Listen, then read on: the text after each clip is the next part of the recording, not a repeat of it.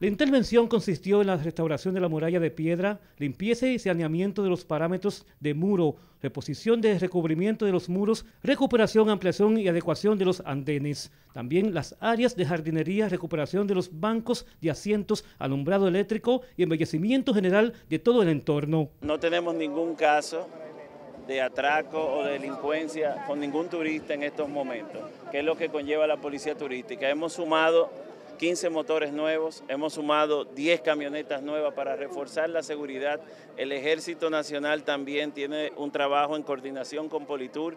El remozamiento de la Puerta de la Misericordia consistió además en fosos de los restos arqueológicos, limpieza y adecuación del sistema de drenaje fluvial de la plaza y creación de pozos filtrantes e invernales. La restauración de la Puerta de la Misericordia es un aporte invaluable que hace el Ministerio de Turismo y el gobierno dominicano porque le devuelve su majestuosidad a este emblemático monumento que es un lugar de memoria sagrado. Mientras el ministro de Turismo David Collado y su comitiva desarrollaban el acto histórico, la seguridad de este funcionario, así como de Raquel Albaje, impidió la efectiva cobertura de los medios de comunicación. La seguridad impidió que algunos medios cubrieran la actividad la seguridad de aquí de, usted y la señora...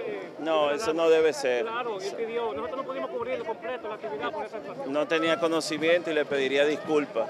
Sabe que mi trato nunca ha sido ese. La renovada obra forma parte de los trabajos de restauración de varias infraestructuras históricas y culturales de la ciudad colonial de Santo Domingo y que incluye el monumento al Casa de Colón, así como las fachadas de varios patrimonios arquitectónicos y religiosos de la ciudad colonial, el Panteón de la Patria y Museo de las Casas Reales, iglesias, capillas, santuarios, entre otros. Para Telenoticias, Roberto Brito.